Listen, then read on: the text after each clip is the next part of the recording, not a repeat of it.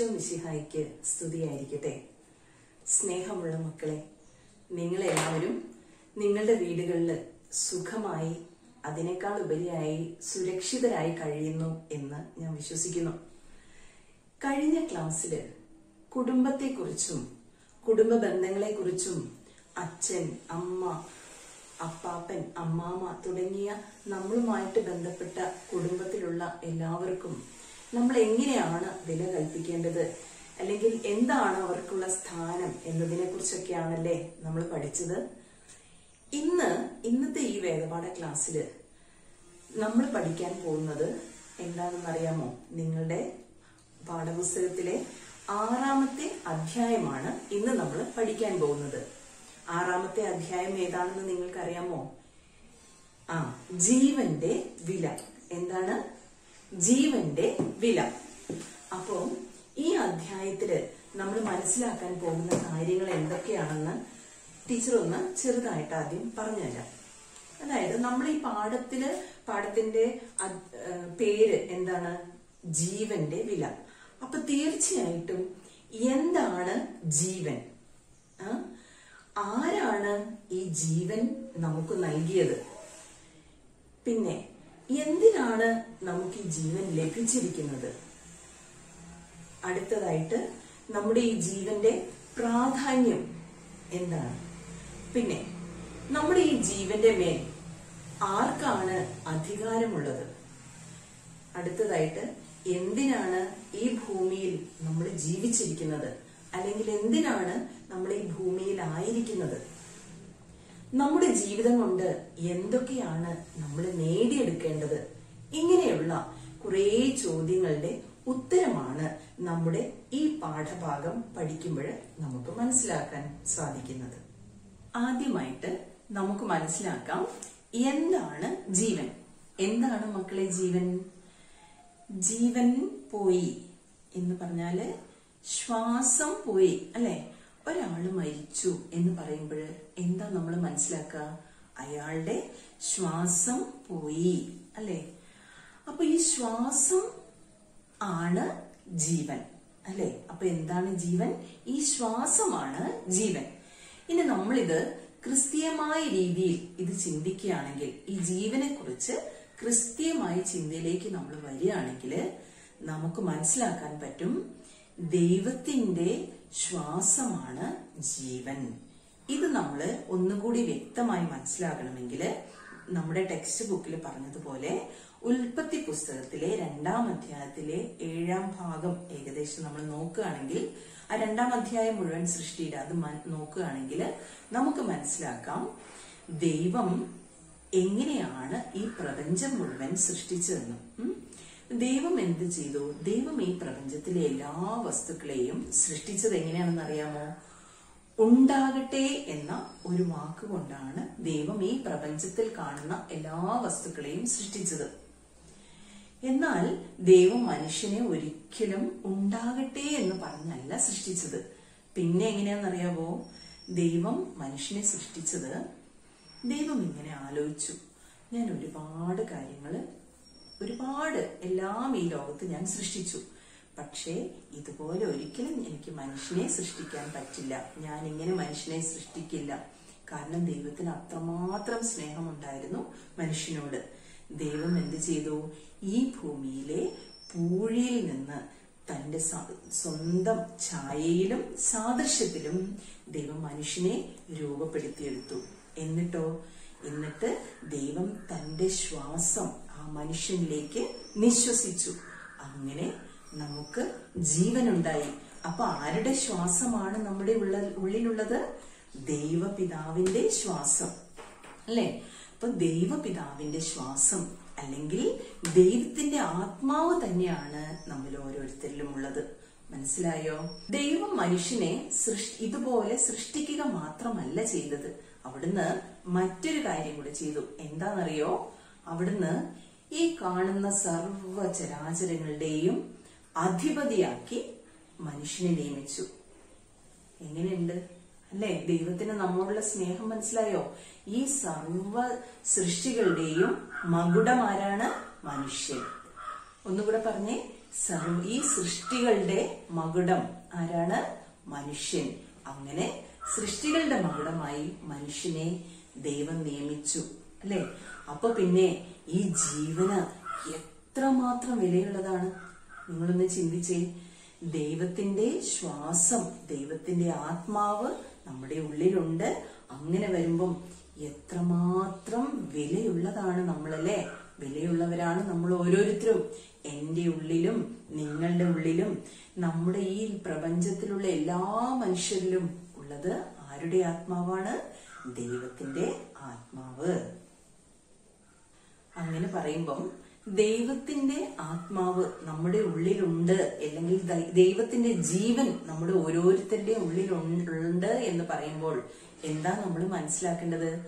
നമ്മൾ ആരുടെ മക്കളാകും അപ്പോ? നമ്മൾ ദൈവത്തിന്റെ മക്കളാകും. കേട്ടോ? അങ്ങനെ വരുമ്പോ ഞാനും നിങ്ങളും ഈ ലോകത്തിലുള്ള എല്ലാ മനുഷ്യരും ആരുടെ മക്കളാണ്? ദൈവത്തിന്റെ മക്കൾ. അത് നമ്മൾ ഒരിക്കലും മറക്കാൻ പാടില്ല. ഇനി മറ്റൊന്നു കൂടി നമ്മൾ മനസ്സിലാക്കേണ്ടതുണ്ട്. ദൈവം എങ്ങനെയാ നമ്മളെ സൃഷ്ടിച്ചത്? നമ്മൾ നേരത്തെ പറഞ്ഞത് ഓർമ്മയില്ലേ? എങ്ങനെയാ? ദൈവം തന്റെ സ്വന്തം ഛായയിൽ അങ്ങോട്ട് നമ്മളെ സൃഷ്ടിച്ചു. അങ്ങനെയാണെങ്കിൽ എന്താണ് അവിടെ വരുന്ന ഒരു പ്രത്യേകത അറിയാമോ? നമ്മളും ദൈവവും തമ്മിൽ ഒരേ രൂപ സാദൃശ്യം ഉണ്ടാവും അല്ലെ? അങ്ങനെ ഒരേ രൂപ സാദൃശ്യത്തിലാണ് നമ്മളെ ദൈവം സൃഷ്ടിച്ചത്. അങ്ങനെ വരുമ്പം നമ്മുടെ ഈ ജീവന് ആർക്കാണ് അധികാരം എന്നറിയോ? നമ്മുടെ ഈ ജീവ- ജീവൻ ദൈവത്തിന്റെ അധികാരത്തിലാണ് ഉണ്ടാവുക. നമുക്ക് ആർക്കും നമ്മുടെ ഈ ജീവനുമേ അധികാരമില്ല. ആർക്ക് മാത്രമാണ്? ദൈവത്തിന് മാത്രമേ നമ്മുടെ ഈ ജീവനുമേൽ അധികാരമുള്ളൂ. അങ്ങനെയാണെങ്കിൽ എത്രമാത്രം വിലയുണ്ട് ഈ ജീവന് എന്ന് നിങ്ങൾക്ക് മനസ്സിലായോ? ഇനി വേണമെങ്കിൽ ടീച്ചർ ഒരു ഒരു ചെറിയ ഉദാഹരണം കൂടെ പറഞ്ഞ് ഒന്നുകൂടെ ഇത് വ്യക്തമാക്കി പറഞ്ഞുതരാം. നിങ്ങൾക്ക് എല്ലാവർക്കും സമ്മാനങ്ങൾ കിട്ടാറില്ലേ? പിറന്നാൾ ക്രിസ്മസ് അല്ലെങ്കിൽ അതുപോലെ മറ്റെന്തെങ്കിലുമൊക്കെ ആഘോഷങ്ങൾ വരുമ്പോൾ നമുക്ക് എല്ലാവർക്കും സമ്മാനങ്ങൾ കിട്ടാറുണ്ട് അല്ലെ? സമ്മാനങ്ങൾ ഇഷ്ടമല്ലേ നിങ്ങൾക്ക്? എല്ലാവർക്കും. ഈ ലോകത്തിൽ സമ്മാനങ്ങൾ ഇഷ്ടമല്ലാത്ത ഒരു മനുഷ്യനുണ്ട് അല്ലെ? ഇനി നിങ്ങൾ ഇങ്ങനെ ചിന്തിക്കുക. നിങ്ങളുടെ പിറന്നാളിന് ഒരുപാട് സമ്മാനങ്ങൾ കിട്ടി. അതിൽ നിങ്ങൾക്ക് ഏറ്റവും ഇഷ്ടപ്പെട്ട സമ്മാനം ഏതായിരിക്കും? ഏതായിരിക്കും? നിങ്ങൾക്ക് പ്രിയപ്പെട്ട ആരെങ്കിലും നിങ്ങൾക്ക് തരുന്ന സമ്മാനമായിരിക്കും നിങ്ങൾക്ക് ഏറ്റവും വിലയുള്ളത്. ശരിയല്ലേ ടീച്ചർ പറഞ്ഞത്? ആ സമ്മാനം നമ്മൾ എന്ത് ചെയ്യും? നമ്മൾ ആ സമ്മാനം വളരെ സൂക്ഷിച്ച് വളരെ ശ്രദ്ധയോടെ നമ്മളത് ഉപയോഗിക്കുള്ളൂ അല്ലെ? മാത്രമാണോ? അത് ഉപയോഗിക്കുമ്പോഴൊക്കെ എല്ലാവരോടും നമ്മൾ പറഞ്ഞു നടക്കും. ഇതെനിക്ക് ഇന്നാൾ തന്നാണ് ഇതെനിക്ക് ഇന്നാൾ തന്നാണെന്നല്ലേ? എന്താ അതിന്റെ കാര്യം? നമ്മൾ ആ വ്യക്തിയെ അത്രമേൽ സ്നേഹിക്കുന്നു. അത് മാത്രമാണോ അതിനേക്കാൾ കൂടുതൽ ആ വ്യക്തി നമ്മളെ സ്നേഹിക്കുന്നു. അതുകൊണ്ടാണ് ആ സമ്മാനത്തിന് ഇത്ര വിലയുള്ളത് അല്ലെ? ഇതുപോലെയാണ് മക്കളെ ദൈവത്തിന്റെ ജീവൻ ദൈവം നമുക്ക് സമ്മാനമായി തന്നത്. ഇങ്ങനെ ദൈവത്തിന്റെ ജീവൻ ദൈവം നമുക്ക് സമ്മാനമായി തരുമ്പോൾ അതിന് എന്തുമാത്രം വിലയുണ്ടെന്ന് നിങ്ങൾക്ക് മനസ്സിലായോ? അപ്പോ ദൈവം ദാനമായി അല്ലെങ്കിൽ ദൈവം സമ്മാനമായിട്ട് നമുക്ക് തന്ന ഈ ജീവനും നല്ല വിലയുണ്ട്. മക്കളെ ദൈവം നമുക്ക് ജീവൻ തന്നു എന്ന് പറയുന്ന ബൈബിളിലെ പാഠഭാഗം ഏതാണെന്ന് നിങ്ങൾക്കറിയാമോ? ഉൽപ്പത്തി പുസ്തകം രണ്ടാം അധ്യായം ഏഴാം വാക്യം. നിങ്ങളുടെ പാഠപുസ്തകം ഒന്ന് തറന്നേ അതിൽ എന്താണ് ഉള്ളതെന്ന് നമുക്കൊന്ന് വായിച്ചാലോ? ദൈവമായ കർത്താവ് ഭൂമിയിലെ പൂഴി കൊണ്ട് മനുഷ്യനെ രൂപപ്പെടുത്തുകയും ജീവന്റെ ശ്വാസം അവന്റെ നാസാരന്ധ്രങ്ങളിലേക്ക് നിശ്വസിക്കുകയും ചെയ്തു. അങ്ങനെ മനുഷ്യൻ ജീവനുള്ളവനായി തീർന്നു. ഇനി മറ്റൊരു ഭാഗത്ത് പറയുന്നുണ്ട് നമ്മൾ ദൈവത്തിന്റെ ആലയങ്ങളാണ് എന്ന്. അതും നമ്മുടെ പാഠപുസ്തകത്തിലുണ്ട്. നിങ്ങൾ പുസ്തകത്തിൽ നോക്കി. ഒന്ന് കൊറിന്തോസ് മൂന്നാം അധ്യായം പതിനാറാം വാക്യം. എന്താണ്? ഒന്ന് കൊറിന്തോസ് മൂന്നാം അധ്യായം പതിനാറാം വാക്യത്തിൽ ഇപ്രകാരം പറയുന്നുണ്ട്. നിങ്ങൾ ദൈവത്തിന്റെ ആലയമാണെന്നും ദൈവാത്മാവ് നിങ്ങളിൽ വസിക്കുന്നുവെന്നും നിങ്ങൾ അറിയുന്നില്ലേ? കണ്ടോ? എന്താണ് അതിന്റെ അർത്ഥം? ദൈവം തന്റെ ശ്വാസം നൽകി നമുക്ക് ജീവൻ തന്നു അല്ലെ? അങ്ങനെ വരുമ്പോൾ ആരാണ് നമ്മുടെ ഉള്ളിൽ വസിക്കുന്നത്? ആരായിരിക്കും നമ്മുടെ ഉള്ളിൽ ഉണ്ടാകുക ദൈവത്തിന്റെ ആത്മാവാണെങ്കിൽ ആരായിരിക്കും നമ്മുടെ ഉള്ളിൽ ഉണ്ടാവുക ദൈവം തന്നെ. ഒരു സംശയം വേണ്ട. നമ്മുടെ ഉള്ളിൽ ആരാണുള്ളത്? ദൈവം. അപ്പൊ ദൈവം നമ്മുടെ ഉള്ളിൽ വസിക്കുമ്പോൾ നമ്മൾ എന്തായി മാറുകയാണ്? നമ്മൾ ദൈവത്തിന്റെ ആലയങ്ങളായി മാറുകയാണ്. മനസ്സിലായോ? ഇനി നമ്മൾ ഇന്നത്തെ ക്ലാസ്സിൽ എന്താണ് പഠിച്ചത്? ജീവന്റെ വിലയെ കുറിച്ച് നമ്മൾ രണ്ട് കാര്യങ്ങളാണ് പഠിച്ചത്. ഒന്നാമത്തെ കാര്യം എന്താണ്?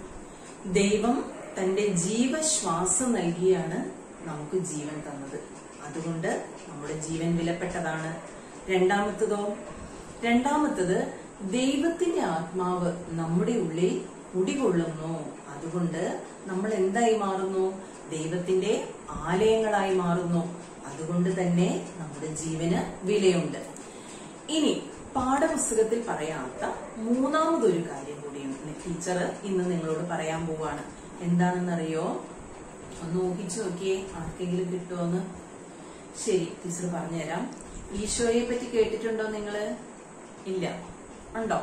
ആ ഈശോയെ കുറിച്ച് കേൾക്കാത്ത നമ്മുടെ മക്കൾ ആരുമില്ല അല്ലേ അപ്പൊ ഈശോയെ കുറിച്ച് കേൾക്കുമ്പോൾ ഈശോയുടെ ജീവിതത്തെ കുറിച്ച് നിങ്ങളൊന്ന് ചിന്തിച്ചേ. ഈശോ എന്താ ചെയ്തത്? ഈശോ എന്താ ചെയ്തത്? ഈശോ പാപികളായ നമുക്ക് വേണ്ടി സ്വന്തം ജീവൻ ആ കുരിശിൽ ബലികൊടുത്തു അല്ലെ? എന്തിനു വേണ്ടിയാ? നമ്മുടെ ജീവൻ വീണ്ടെടുക്കാൻ വേണ്ടി. അങ്ങനെ ഈശോയുടെ തിരുരക്തത്താൽ വീണ്ടെടുക്കപ്പെട്ടവരാണ് നമ്മൾ അങ്ങനെ വരുമ്പം നമ്മുടെ ജീവൻ എത്രമാത്രം വിലയുണ്ട് നിങ്ങളൊന്ന് ആലോചിച്ച്. ഈശോ ആ കാൽവരിയിലേക്ക് പോകുന്ന വഴിയിലൊക്കെയുള്ള ആ ചമ്മട്ടിയടിയും ആണി തറക്കിലും എല്ലാം നിങ്ങളൊന്ന് ആലോചിച്ച് നോക്കി അത്രയും ത്യാഗവും പീഡകളും സഹിച്ച ഈശോ നമുക്ക് വേണ്ടി സ്വന്തം തിരുരക്തം കൊണ്ട് നേടിത്തന്ന ജീവന് എത്രമാത്രം വിലയുണ്ട് മക്കളെ? നമ്മളൊന്ന് ചിന്തിച്ചേ. മക്കളെ അങ്ങനെ വരുമ്പോൾ ഈശോയുടെ തിരുരക്തത്താൽ വീണ്ടെടുക്കപ്പെട്ടവരാണ് നമ്മൾ എന്നതുകൊണ്ട് നമ്മുടെ ജീവന്റെ വില കൂടിക്കൂടി വരികയാണ്. നിങ്ങൾക്ക് മനസ്സിലാവുന്നില്ലേ? അപ്പോ ഈ മൂന്ന് കാര്യങ്ങൾ കൊണ്ട് നമ്മൾ എന്താ മനസ്സിലാക്കേണ്ടത്? നമ്മുടെയും നമ്മുടെ മാതാപിതാക്കളുടെയും നമ്മുടെ സഹോദരങ്ങളുടെയും നമ്മുടെ ബന്ധുമിത്രാദികളുടെയും എന്ന് വേണ്ട. ഈ ലോകം മുഴുവൻ നിറഞ്ഞു നിൽക്കുന്ന നാനാജാതി മതസ്ഥരായ ജനങ്ങളുടെയും ജീവന് വിലയുണ്ട്. എന്താണ്? ഈ ലോകത്തിലുള്ള എല്ലാ മനുഷ്യരുടെയും ജീവന് വിലയുണ്ട്. ഒന്നുകൂടി നമുക്ക് ഓർക്കാം. എന്താണ്? ദൈവമാണ് നമ്മളെ സൃഷ്ടിച്ചത്. ദൈവമാണ് നമുക്ക് ജീവൻ നൽകിയത്. ദൈവമാണ് നമ്മുടെ നമ്മെ അവിടുന്ന് വസിക്കുന്ന ആലയമാക്കി മാറ്റിയത്. ദൈവമാണ് സ്വന്തം ജീവൻ നൽകിക്കൊണ്ട് നമ്മളെ വീണ്ടെടുത്തത്. അങ്ങനെ വരുമ്പം വീണ്ടും വീണ്ടും നമ്മുടെ ജീവന് വില കൂടി വരുന്നു. എന്ത് വരുന്നു? നമ്മുടെ ജീവന് വില കൂടി വരുന്നു. അങ്ങനെ നമ്മൾ വിലയുള്ളവരായി മാറുകയാണ്. മനസ്സിലായോ? അപ്പൊ ഈ ജീവന്റെ വില നമ്മുടെ പാഠ പാഠപുസ്തകത്തിന്റെ ഹെഡിങ് ജീവന്റെ വില അല്ലെ? അപ്പൊ അത് എത്രമാത്രം പ്രാധാന്യമാണ് അതിനുള്ളതെന്ന് അത് എത്രമാത്രം ആഴത്തിൽ മനസ്സിലായോ? ജീവന്റെ വിലയെ കുറിച്ച് അത്രമാത്രം ആഴത്തിൽ നമ്മൾ പഠിക്കുകയായിരുന്നു അല്ലെ? ഈ കഴിഞ്ഞ നിമിഷങ്ങളിൽ നമുക്ക് ഒരു നിമിഷം ഈശോ ദൈവപിതാവിന് നന്ദി പറഞ്ഞുകൊണ്ട് ഒരു ചെറിയ പ്രാർത്ഥനയോടെ ഇന്നത്തെ ക്ലാസ് നമുക്ക് അവസാനിപ്പിക്കാം. എല്ലാവരും ഒന്ന് കൈകൂപ്പിയേ സ്നേഹപിതാവേ അങ്ങ് നൽകിയ വിലമതിക്കാനാവാത്ത ഈ ജീവനെ ഓർത്ത് ഞങ്ങൾ അങ്ങേക്ക് നന്ദി പറയുന്നു. നമുക്ക് ഒന്നുകൂടി ഏറ്റുചൊല്ലാം. ടീച്ചർ പറയുമ്പോൾ അത് കഴിഞ്ഞൊന്ന് ഏറ്റുചൊല്ലിക്കേ. സ്നേഹപിതാവേ അങ്ങ് നൽകിയ വിലമതിക്കാനാവാത്ത ഈ ജീവനെ ഓർത്ത് ഞങ്ങൾ അങ്ങേക്ക് നന്ദി പറയുന്നു. ഈശോ മിശിഹായ്ക്ക് സ്തുതിയായിരിക്കട്ടെ. പിതാവിന്റെയും പുത്രന്റെയും പരിശുദ്ധാത്മാവിന്റെയും നാമത്തിൽ ആമീൻ.